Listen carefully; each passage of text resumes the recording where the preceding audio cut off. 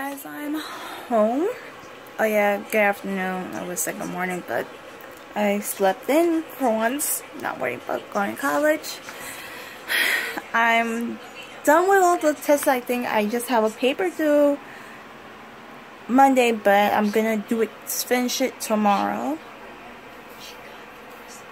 But honestly, I'm home, I'm happy, no more stressing out, I mean, I have my paper, but I feel like I feel confident thing.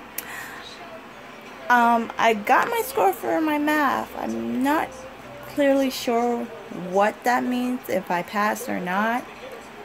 I'm waiting to hear out, hear from my counselor. But if this means what it means, it means I'm closer to actually graduating this year. And you know what? I always say I think so. Yes, I do live in New York, but I live in the Bronx. I'm not exactly going to tell you exactly where I live in the Bronx, but I live in the Bronx, and I go to school all the way in Brooklyn, which is near Coney Island.